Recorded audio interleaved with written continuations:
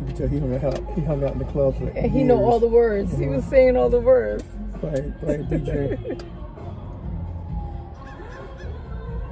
Guess we can't vlog now, huh? yeah, we're gonna talk about marriage. How God instituted While we here The role of- talking about struck me down. And God said in Genesis chapter three. No, we can't vlog now.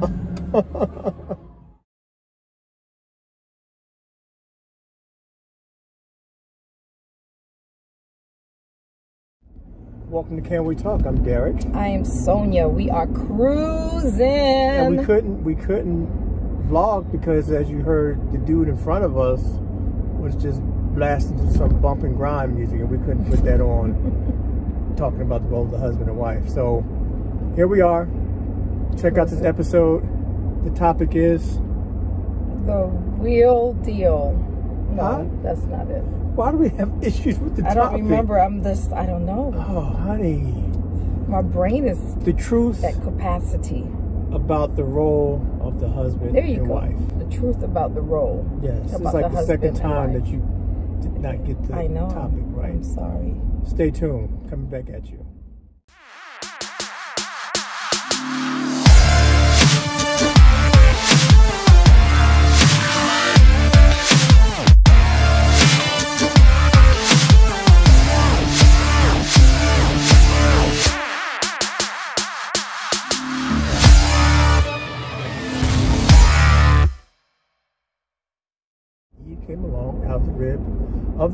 Of and the two became one. You know, when um every time I, I think about God pulling the rib out of the man and making the woman, I think about what the rib represents. The rib actually covers the vital organs of, of the human body. It protects the heart and the lungs. And God picked the rib of the rib cage to do that. I- Mm. you know, everything God does is deliberate. So Right, he was saying she's going to represent some form of protection of the man's heart Mm. in in a in a figurative, in a emotional, and a literal sense. Okay, Isn't that deep when you think about that? He took the rib and made the woman. Why the rib? Because the rib protected the man's heart. So her role is specific to the fact of how she even was here. Right, right. So, you know, and a lot of times women get married and they think that their husband is supposed to just come out the gate protecting them, which to some extent it's a realistic expectation. But we don't think about what protection we should give our husbands, um, especially as the helper. And uh, when I started to think about how to protect the husband's heart, I thought about how God made us so that we could do that, right? So the role of the wife, she has to be in tune with her husband's emotions. And most wives are actually in my sessions that I do when we do sessions. The wife is usually very much in tune with her husband, even when he has hurt her she is still capable of knowing what makes him tick emotionally. The problem is when we are hurt husbands, it prevents us from uh, the desire to protect your heart. Um, and sometimes, you know, hurt people will hurt people. So sometimes if a wife is hurt, she's not going to protect you, she's going to hurt you. Um, but then with that said wives we've got to realize that we have the power to hurt our husbands back emotionally and they have already come to us needing help with their hearts so when we bring uh when husbands bring maybe a knife to the fight we can blow them away with a gun based on our weapons so we might come back you know we might walk back with a little blood a little nicks here and there, but they shot down there and we trying to figure out why they not protecting us or doing what we want them to do for us. But a big part of it is because they've been shot in the heart. You shot me in my heart a few times. I remember. Like I like- remember. Like with a a a, a and, and it's so gratifying in that moment, but then we feel bad, you know. Well, some of us do. It feels good. Yeah, yeah, I got you. Deal with that. Yeah, it really comes out of a, a lot of pain Did you go? I did do that. You made the sound effects. Yep. you know, and bless his heart, Derrick back in the day, he used to try to hang with me though, but he brought a knife to a gunfight. And so he would be swinging his little knife, and I was like, one shot, boom. Are you getting to the story about? Okay, I'm sorry. that was that was truth though, right? That was truth, but truth, right? they don't want to hear that right, right. now. So I don't want to be all that. So you always use me as an example. That's well. I mean, this is our vlog. Got, I, that's fine. I'm gonna find an we have to use. I have to use as an go example because this is our vlog. This True. real talk. Yeah, right? but it's always about me. Well, find something about oh, me. Okay, I'm thinking. Okay, I'm sorry if I'm a great storyteller. It's the truth, you. though. I forgive you. So, so wives, you know, in terms of if you can manage the part that Derrick's going to share about men and what they have to do, if you can manage that just separate that for a minute and just take some some inventory into the gifts that God put inside of us to help our husbands, right? So he gave us the emotional hormones so that we could help them and help their hearts.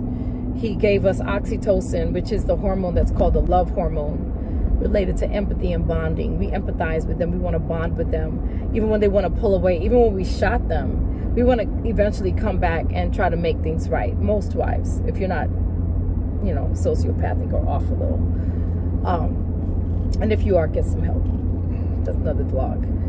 You know, he also mentally gave us the capacity to help our husbands. He gave us the two crossing over verbal centers where men's are, are, are linear, arts cross over. We've talked about that in the vlogs before. That's so that we can process what we're thinking and feeling and needing and help them process what they're thinking and needing and feeling all at the same time. That's an amazing thing. But a lot of times we use that gift for we use that power for evil and not for good. True. We, we talk over them, we out talk them, we overexpress, we don't listen because we're so we're so able and equipped to just verbally hear and talk and process all at the same time. Isn't that amazing thing? So God gave that to the woman. That's the role of the wife.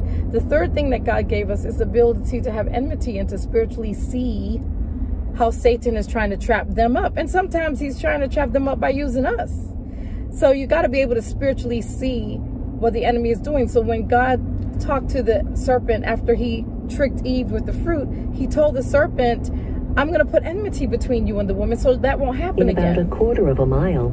So that she will never be tricked by you or be deceived by you. So I'm going to put this gift of enmity in her so she will hate you. Hatred for sin. I'm just going to hate you. She's going to see you. And that's going to help her see when the enemy is coming for her husband. And that's why husbands sometimes, wives will see um, the spirit, the Jezebel spirit in a woman who is kind of acting like she's not interested in her husband, but there's a spirit that the, that the wife sees because she has the enmity. And when she tells her husband what she sees, sometimes he thinks that she's overreacting or she's insecure, but really she's trying to protect him because he she can see the Jezebel spirit in that woman. That spirit of, of in, in, uh, enticing and seducing, um, that spirit, you know, of lust. And if she can't see it, if you don't believe that she sees it, she can't protect you. You know, now I'm not talking about the insecure woman who thinks everybody wants her man. That's not if that's your wife, that's a separate issue. You got a different issue. I'm talking about your reasonably rational, relatively secure wife who just can see spiritually the women that, you know, don't mean your husband well. And he's a man. And they know that. And so that spirit comes for those men. So that's my take on on the role of the wife is is to protect the heart, protect the heart emotionally, protect him, you know, mentally. Don't take advantage of what you are able to do mentally that he isn't able to do because he has to stay focused. That's why his verbal centers are linear. And, you know, protect him spiritually. See when the enemy is using other people and things and work and habits and coping mechanisms to keep your husband distracted from being the leader of the household. That's my take. Was good. Thank you. I'm focused. All right. Right now, I'm focused. The role of the husband. There's the scripture in the Bible that says that, very short, I'll just pull it out. Take care of what I gave you. That's what God told the man. The woman was not even on the scene at the time. Mm. He says, Take care of what I gave you. And he was talking about the garden. He was talking about the things that are in the garden. He was talking about the animals. Take care of what I gave you. He was also talking about this this woman that's going to be on the scene shortly. So our role as husband is to take care of what God gives us. Mm-hmm. Okay? Take care of what God gives us. So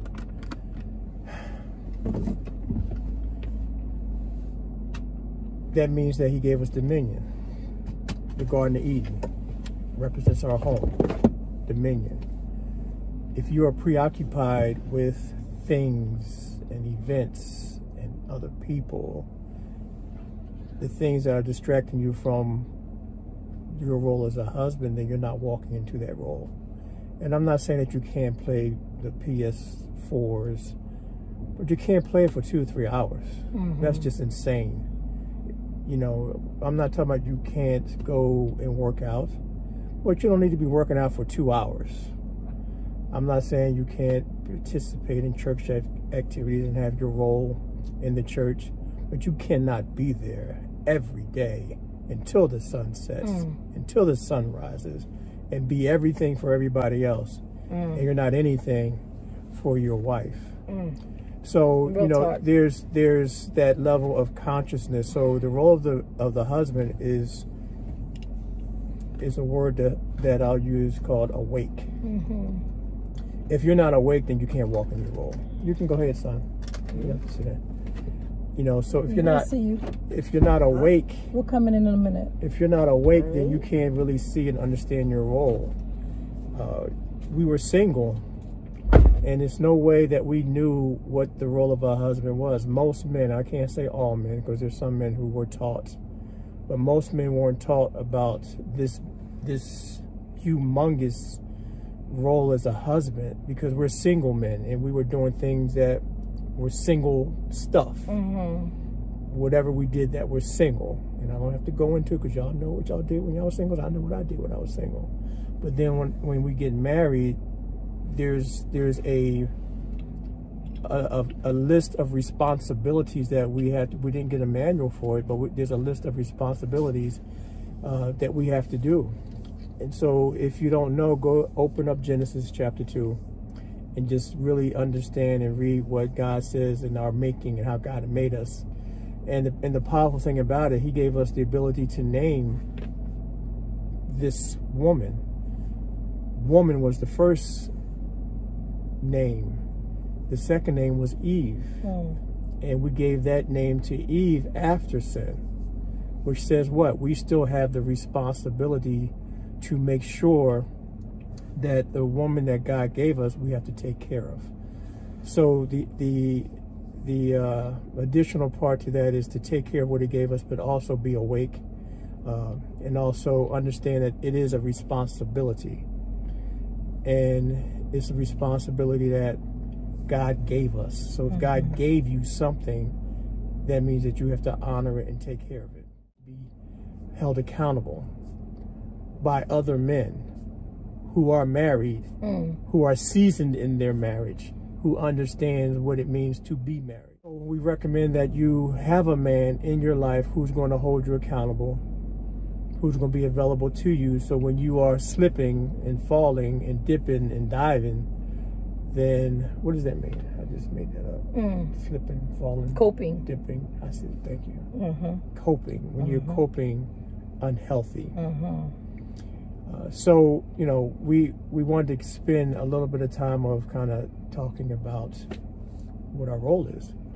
It's very complex it's very heavy but god equips us and he has equipped us to be able to to walk into that role. Mm-hmm. i'm by no means a, a perfect man but i've now begun to understand what my role is. And this chicky poo right here Whoo! What does that mean? I'm going to explain. It means that I had to be awake and conscious to know her core, Mm-hmm. to know her past, Mm-hmm. to know her idiosyncrasies, Mm-hmm. to know uh, how she feels and what to do and respond to those feelings. And that requires me to be awake. So I, that meant that Well, you say woo like it was a lot. I had a flashback.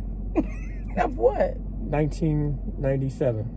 Oh yeah, it was a hot mess. Yeah, you are. Oh, I used to bring the noise. Yeah. I was bringing it. 1997. And I was running circles around you. I had to, I had to disappear and go deep into the word and find myself Mm-hmm. and who I was as a man because it was questionable. We were two years married in 1997. It was questionable. You made me question myself. Mm-hmm. But I got my footing back. Well, see, because you know why? Because wives, here's the thing: we we walk into our marriage thinking that our husbands know how to be husbands. I did that, and so we become a little disillusioned in what we think. So when they don't meet that expectation, we do more damage. I believe that that Sonya, I can't speak for the wives because I get in trouble with these responses. Who are you talking to? okay, I'm not talking to you. I'm talking about my wife. That she had this vision of uh, me on a white horse. Mhm. White knight in shining armor. in my sh- my armor, in my sword, and, and just just come on, girl, hop on, and we're gonna do this thing. and you're gonna know how to manage the household and pay the bills and right and, and fix the cars and take out the trash and do the groceries and at your command. Mm-hmm. It wasn't happening because I'm from Philly. and that's crazy know, because It, because what what man I mean he he was single too just like you were so we didn't know. Mm-hmm. We didn't know. We didn't know. It's not an excuse. We hear it so much. Why he should have known. Why he didn't. He has to learn. He has to now learn. He he should have known. and when he fails you hold on, honey. okay I'm sorry okay He should have known. mm-hmm.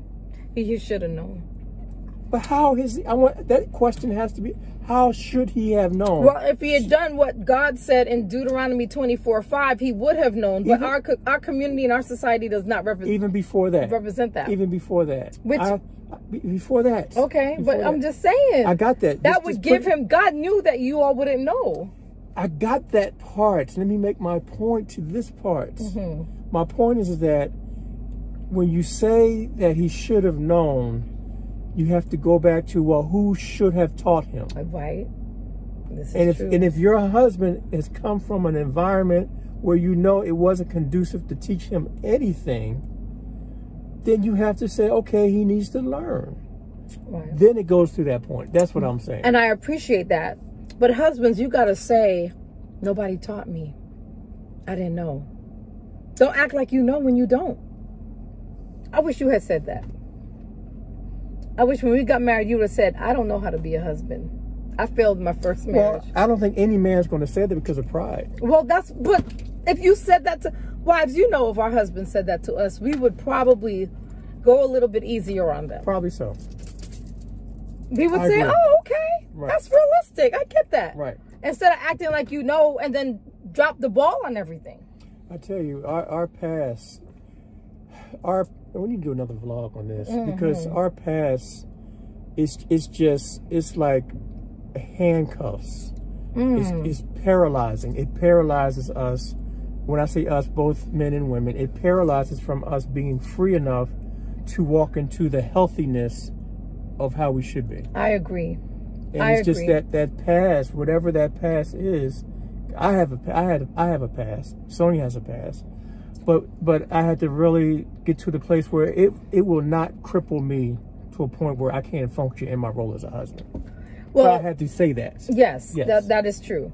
And for those that don't know why I referenced Deuteronomy 24 5, it says when a man takes a wife, Mo- God told Moses to tell the Israelites this. This is God talking to his people. We are his people. We are still his people. When a man takes a wife, he's not to go to work, he's not to go to war for one year to make sure he stays home with his wife and allows her to be happy. I believe he meant secure happy and secure to make sure that she's secure so that when work time comes and wartime comes he would have been able to meet those needs and she would be able to better support him Right. going to work and going to war Right. but our, our society doesn't support that anymore No. people say how how can a man not work for a year you save. The community provides property and they pour family pour into the, the groom to teach him and help him become a successful husband. And the whole community says, here's some savings that, you know, that we, here's some donations, here's some gifts. And, and, and, and mom and dad teaches him to put some things away and the whole community supports the groom. We, we go to weddings, we go to weddings and we should support it and give all the love and support. But stop to think is he really ready financially, emotionally, physically, yes. mentally yes. to sustain this this union that's going to require the the heaviness that comes with it? Like, is he ready? And we tell couples who are, are engaged to be married or looking to get, get married for the man, look, your credit score got to be over 700 you got to at least have about 20 grand in the bank mm -hmm. saving just just sitting there. Mm -hmm. you got to be able have your to, own place. You have to have your own place not mm -hmm. moving in with her not leaving your parents house not leaving your roommates. You got to be able to buy property have your own place and, and at least have had two years to pay your bills. To pay your bills. By so, yourself. so all all those yes. things have to take place. Yes. It ties into deuteronomy yes. but bring it to 2020 yes. All those things have to take place. So when you meet this woman that you love and adore, then you have you have solidified most of the things before you get married because when the day you say I do, mm -hmm. the noise is coming. And then you could actually adequately fulfill your role. You can. You could be a husband. Right. You can, you can study more. Right. You can, you, you can, get into that word. You can give her some time. You can spend time with her. Right. And, and, and love I her wish up. you had done that, see?